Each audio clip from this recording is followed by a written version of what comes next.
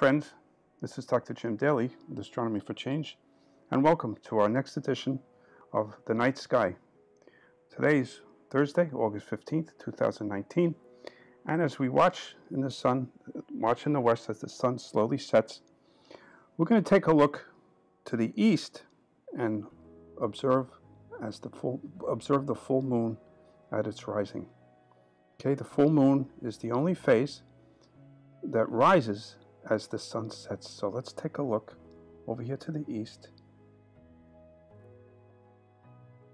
and watch the full moon rise.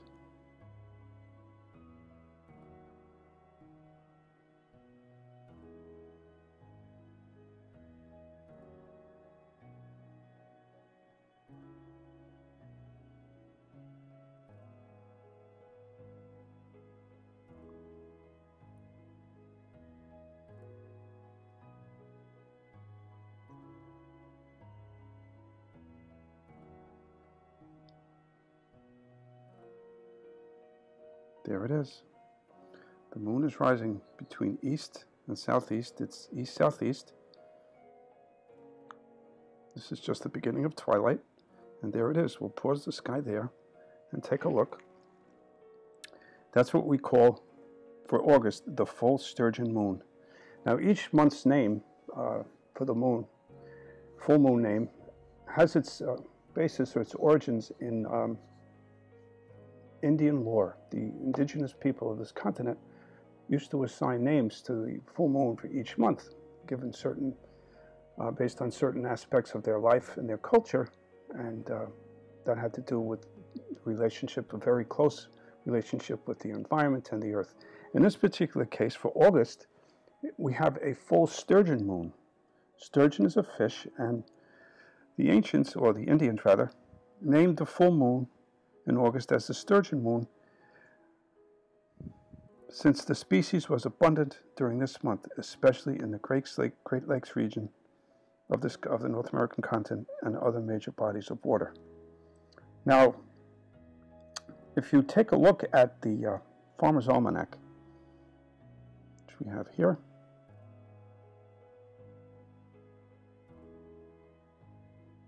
we not only have a full moon calendar, in the Farmer's Almanac, farmersalmanac.com. We can um, scroll down, take a look at the calendar for the month. Here we have, this is the 15th, okay, that's the full moon, okay, 15th of August. Tomorrow night, the 16th, will be the moon at like 98% illumination and continuing on its path as it wanes in phase towards new moon, which is in approximately two weeks. Now, if we take a look here, go to astronomy, uh, time, farmersalmanac.com for the calendar, moon phases, we're in astronomy, and we can select moon phase calendar. We can full, select full moon names here, and that'll give us uh, the full moon names and their meanings. It's a very, it's, a, it's an interesting insight into um, how the how the the natives, uh, the native indigenous to this continent, uh, were so closely uh, connected to the environment and the earth. Here we're coming up here. April's moon is a pink full moon, full pink moon. Full flower moon is in May. Full strawberry moon is in June. That's the, the time of the year when strawberries were being harvested. Full buck moon was last month, July, and here it is in August. We have the full sturgeon moon. Uh, the, fishing, uh, the fishing tribes of the North American continent are given a lot of credit for the naming of this moon, since sturgeon, a large fish of the Great Lakes and other major fishing bodies of water, were mostly readily caught during this month. A few tribes knew it as the full red moon because as the moon rises, it would appear reddish, though sultry, and through any sultry haze. It was also called, called the green corn moon uh, also. Uh, so that's the full moon for August, the full sturgeon moon. Let's go back to Stellarium. Here's the moon still rising. Take a look now in the setting that we've grown accustomed to here in the previous sequence of videos. Uh, we open up with a view looking to the south. Mighty Jupiter and Saturn still high in the south uh, at uh, the close of twilight, coming up soon. Now keep in mind also as the since the full moon is out this night, tonight, a lot of the uh, more subtle object, the fainter, the subtle beauty of the Milky Way, that might be lost, or that will be lost because of the moon's brilliance. Okay, so if we want, if we're interested in observing those aspects of the sky, the, the, the beauty of the Milky Way, the star clusters that we've been talking about recently, you should wait until the moon is first quarter, first quarter, or narrower, or third quarter or narrower. Anything below first quarter or third quarter, back towards new moon or crescent moon, would be a good time to observe, or the new moon, of course, when there's no moon, to observe these um, these features of the sky, these aspects of the sky. So that's the um, the sky looking due south. Now, if we go back to um,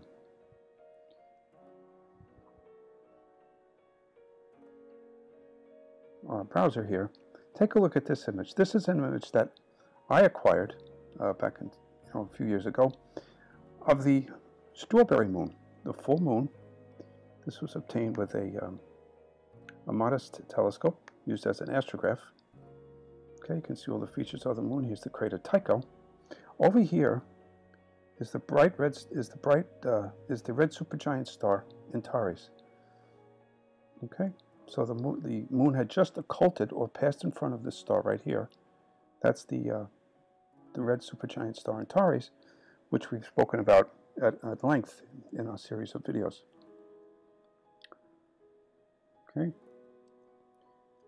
and here it is Antares. So back then the moon was sitting right here right next to Antares, and that was back in June a few years ago during the strawberry moon. And the moon occulted Antares, and that was that image was the aftermath of that um, of that occultation. It gives us an opportunity uh, with uh, professional observatory class telescopes. We can study the star's atmosphere as the limb of the moon basically just very slowly cuts off the star's disk. Uh, for these large red giant stars, we can do that. Okay. Let's go back and zoom in on the moon here. Full moon. We can see the illumination of the moon down here. Stellarium gives that information to us, 99.6%, which is 0.4% uh, not illuminated, because the, the actual specific time uh, although the date for August, full moon for this month is August 15th, the specific time is not at this moment, so hence it's not going to be 100% uh, illuminated.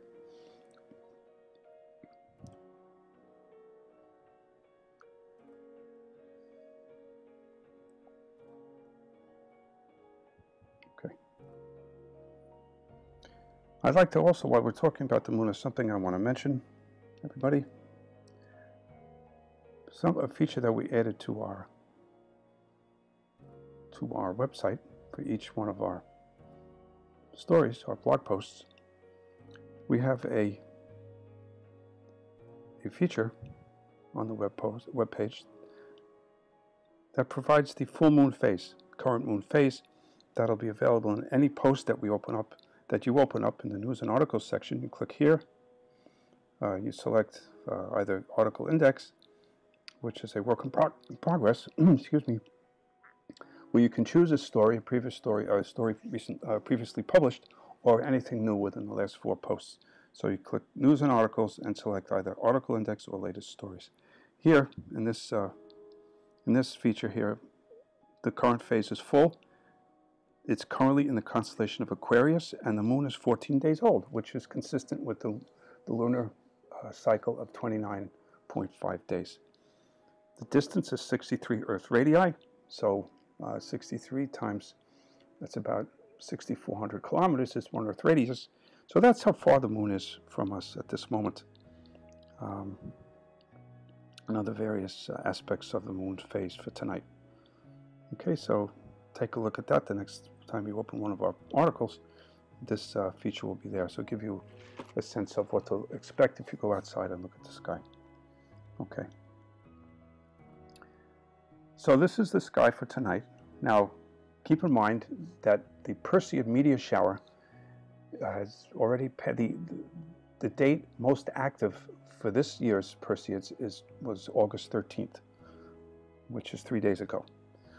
The period of activity where the, the shower is actually active was uh, July 17th through August 24th. So what we're going to do is we're going to take a look at that again. Turn our meteors back on. Okay, the Perseids are going to be coming up pretty soon. Right now this is almost 9 p.m. Moon is slowly rising.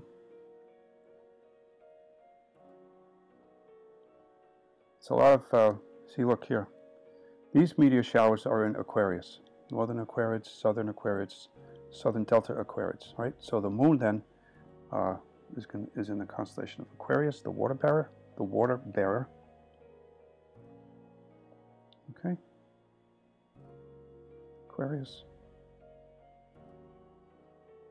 Right here. Okay. Let's let the sky drift ahead a little bit. It's coming up on 1030. And Perseus will be coming up pretty soon in the northeast. It's already there. Here we go. Perseus, click the radiant point, give you the properties of the meteor shower. Yeah, see. Maximum was the 13th of August, right? Activity is between the 17th of July and the 24th of August. So even though the moon is full right now, today's the 15th, uh, we have about nine days left. If you want to continue to look for the Perseids, you can do that. The amount of meteors visible during full moon would be less than what you could see in um, other phases of the moon where the moon isn't so brilliant. Okay, the moon's bright. Moon is fairly bright. It's going to um, wash out the sky. Uh, so a lot of the fainter objects, a lot of the fainter meteors, fainter objects that you could see in binoculars or etc., the things, the kind of things that we've been talking about, those wouldn't be necessarily visible with the full moon. So although um, the meteor shower is still active, you might want to wait a few days, perhaps over the weekend, Sunday or Monday, to see uh, the Perseids. Take a look at the Perseids before we lose lose them until next year, which will be on the 24th of August.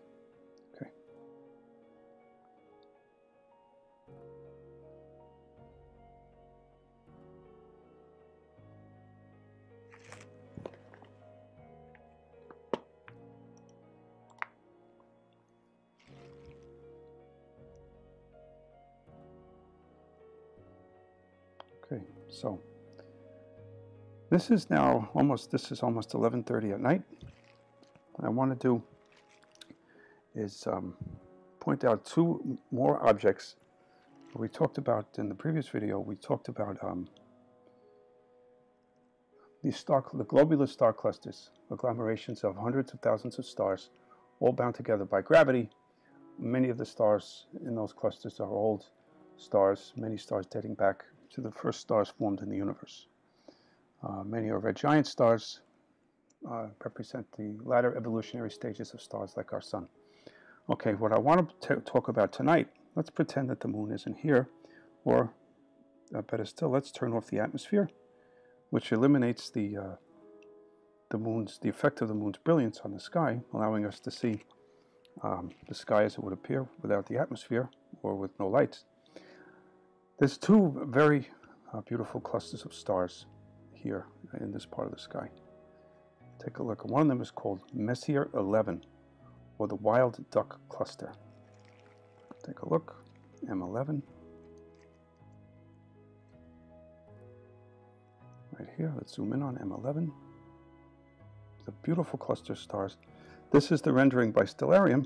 If we take a look at what it would look like through a pair of binoculars, we have that view right here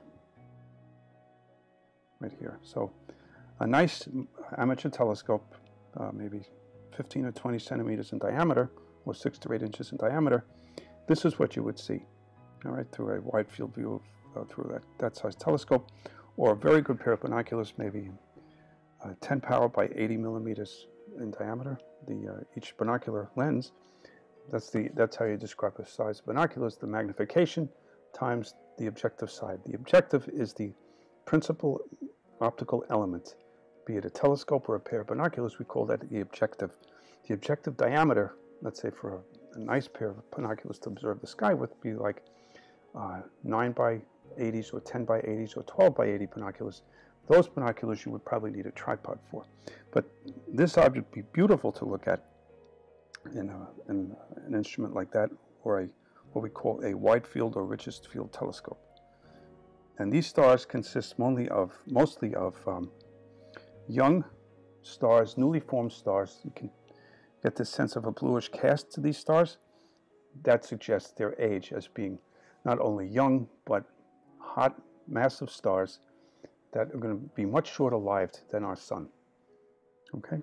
So eventually, over time, the clusters in the stars, they don't have the, the gravity, the cluster doesn't have the mass or the amount of number of stars to keep it bound together gravitationally, as is the case with globular star clusters.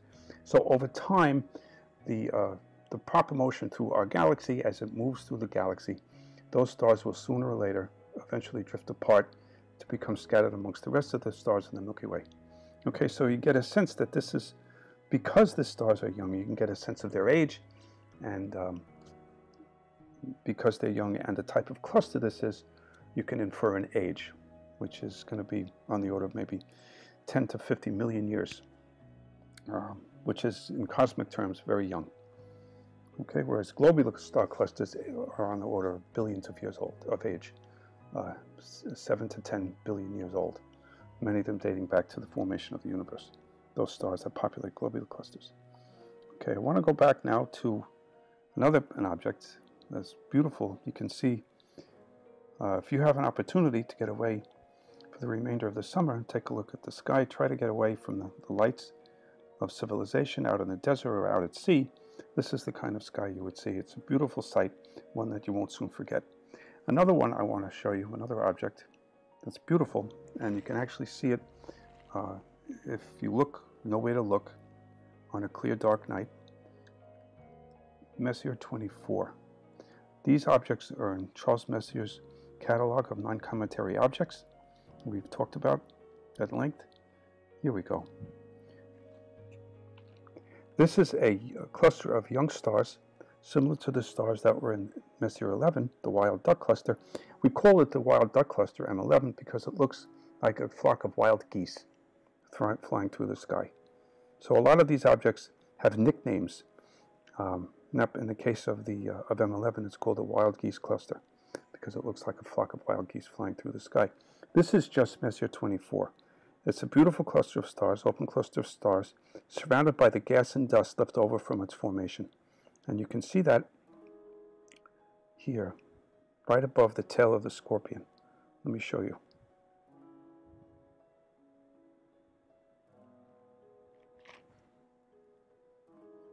Okay, let's back up the sky just a bit because Scorpio has set a little bit. Zoom in Messier 24. Right here. Zoom back out to get a sense of where our bearings and where we are. Okay, a pair of binoculars, if you look in this part of the sky, find Messier 8, right here, the Lagoon Nebula, which we talked about in the previous video. And here's the tail of the scorpion. Let me put up the constellations so you get a sense of what I mean when I say the tail of the scorpion. See, there's the stinger right there. Right above Scorpio, you go due north through the Milky Way, and you can actually see this, this object right here, Messier 24. In a clear, dark night, even without a pair of binoculars, you can get a sense of where it is right here. This, uh, this um, gas cloud is quite bright, and it stands out um, against the night sky. I don't know if I mentioned in the previous video about Messier 8, but Messier 8 is a what we call an emission nebula, the stars that are embedded in this nebula, in this object, uh, the ultraviolet light, the intense ultraviolet light from these stars, is what's causing it to glow so beautifully pink, which is one of the colors uh, of hydrogen gas. We know this is a lot of hydrogen gas here. Most of the composition of this is hydrogen because this is the telltale, telltale color, what we call hydrogen alpha. That's one of the bright lines or the, one of the bright colors uh, that hydrogen emits when it's, um, when it's energized. Okay, so we can get a sense of the composition of the gas by knowing the color. Just by knowing the color, by, by observing the color, we can get a sense of the composition of the gas. Okay, so we have Messier 24, we have Messier 8 right here, We had M11 before, up further, it's further north. We traveled through the Milky Way um, further north. Let me put M11 back for you. Right here. We'll zoom in on it. M11 is in the constellation of what we call Scutum, right here. We put on the constellation names so you get a sense of where that is. Scutum, right here. Right above Scutum is um, Aquila the Eagle. There's a lot, a lot more, uh, lot remaining in the summer sky that I want to get to in future videos. So we're going to be doing like two or three videos every week. Uh, so we managed to cover the entire summer sky for you. I should mention over here, here's Ophiuchus. This is the 13th constellation of the zodiac. Why do I say the 13th constellation of the zodiac? You probably think, wait a minute, there's only, there's only 12 constellations in the zodiac. Well, actually, no, that's not quite true. There are 13, and here's the 13th one. It's the constellation of Ophiuchus, the water carrier, right here. Okay, here's the ecliptic. Remember, uh, the constellations of the zodiac are those constellations that lie along the plane of the ecliptic, which is right over here. Here's Capricorn, here's Sagittarius, and here's Ophiuchus.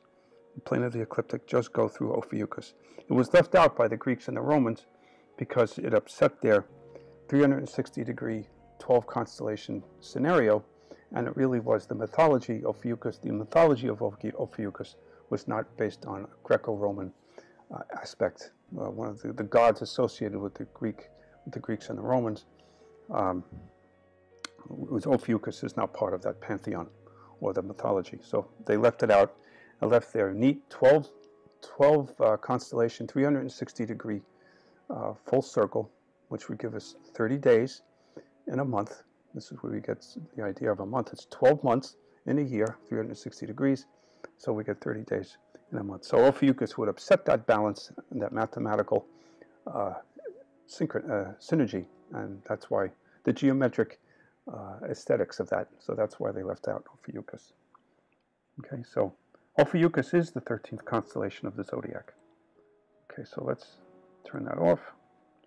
Ecliptic. And I just want to show you um, a telescopic view or a, a wide field binocular view of Messier 24 as the last item for today. Oh, let's also take a look at the moon for tomorrow as well, for the 16th. Okay. Here's the moon on the 15th. The moon for the 16th is going to rise about almost an hour later. Every day uh, in the month, the moon rises will be approximately one hour later in rising, or about 12 degrees. If you compare the position here, where it is tomorrow night, to tonight, that shift in position is approximately 12 degrees on the sky. Okay? How do I figure that out? We have 360 degrees in a circle. There's 30 days in a month, so 360 divided by 30 is 12. So it's 12 degrees every night, which is approximately one hour as the Earth turns. So every phase of the moon, every night, the moon rises approximately one hour later each night. Okay, so this is the moon tonight, the 15th, tomorrow night, the 16th. Okay, so leave it there. We'll leave it on tomorrow. Okay, continuing around to the south. This is now just about, this is almost, this is 1030 almost 11 p.m. You notice by this time now that a lot of the summer stars, a lot of the summer constellations are beginning to set. That's because it's already August. And next month, September, we'll have the, uh, the autumnal equinox, which is either the 20th or the 21st or 22nd of the month. Okay, so that's coming up in a little bit more than a month from now. We'll have the official beginning of fall, which is the autumnal equinox, in the third week of September. Okay. So that's why we're starting to see the summer skies slip slowly towards the southwest. The stars of the um, of the fall will be rising, will, are almost upon us at this hour of the night. Here's Perseus, and here's the great square in Pegasus with Andromeda and Cassiopeia the Queen. Okay, everybody, thanks for joining us. I hope you enjoyed this video. If you um, If you liked it, please do like and, like and subscribe and share. The subscription to our YouTube channel is separate than the subscription for our public website. Um, don't forget, a, a, membership at Astronomy for Change is always free, astronomyforchange.org. And we're going to be uh, uploading uh, a number of videos between now, uh, at least two or three every week. So we, it'll cover more aspects of the sky, more of these beautiful objects you can see with even a pair of binoculars. Um, I do want to say, though, that uh, either today or tomorrow, I will be, we will be uploading another video of a about what I thought was a phenomenal project, Breakthrough Starshot, a mission that will see the launch of thousands of nanoscale robotic uh, emissaries uh, to, to travel to our nearest stellar neighbor in space, the Alpha Centauri star system, at 20% the speed of light, a journey that will take approximately 20 years. If any of them survive and get to transmit back images, data, and telemetry from that star system, it will be unprecedented. Hey friends, uh, thank you for joining us again, and please keep looking up.